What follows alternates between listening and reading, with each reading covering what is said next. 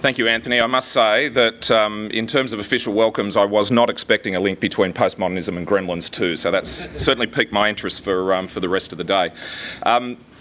I wanted to just, as I said, uh, spend a couple of minutes before we move into our next sessions and the next speakers uh, and just talk a little bit about the links in the work that we've been doing in, in procurement reform. So, as many of you would know, and, and, many of you have been part of that, certainly over the course of the last few years, we've set about really creating a world class procurement system for New South Wales. And, and that's been a, a work across the sector as a whole, um, across both the central and the line agencies and the clusters that work with us to help make those changes. And, and particularly it's been, I think, characterised, as we've been talking about today, by the engagement and collaboration that we have with industry in our respect of our governance structures now. Um, we have industry advisory groups, as many of you would be aware, who play an active role in continuing to work with us to ensure that the procurement outcomes that we're looking to achieve are actually working in partnership with industry and helping to drive real change.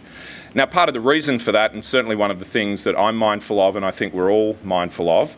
um, is the nature of the broader macro and societal challenges that we face, which genuinely mean that government and industry, to some extent, won't be able to continue to deliver services in the way that we deliver them today to meet the needs of clients and citizens and taxpayers into the future. So, together, we've actually got to think about um, very fresh, very innovative, um, completely changed systems of dealing with and engaging with each other to deliver services to our end clients and citizens.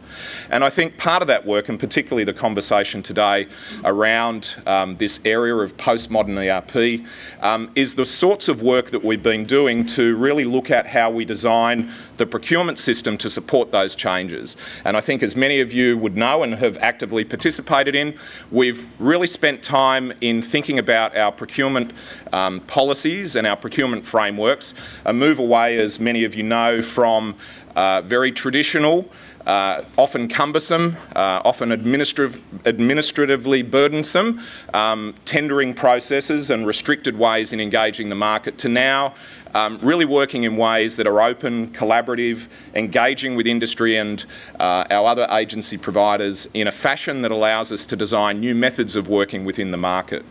And the sorts of schemes and the sorts of approaches that we're taking, and, and, a large part of the focus for today, is really about how that's evolved. And it has evolved significantly over the course of the last few years. If I reflect on the way in which perhaps we engaged with industry to procure ICT goods and services um, only a few years ago, and I look at the sorts of conversation that we're having today, I couldn't have imagined having a conversation about postmodern ERP and the way in which we're redesigning service systems to allow for an engagement with industry in a, in a way that delivers new thinking and particularly supports the work that um, you know, Pedro and our broader teams have been driving through our government data centres, the active engagement that we have with you in creating marketplaces, different means of working together to actually deliver on those sorts of outcomes. So it's very exciting for me to have a role to play um, in respect of procurement and procurement reform and to work alongside um, my colleagues from a, an ICT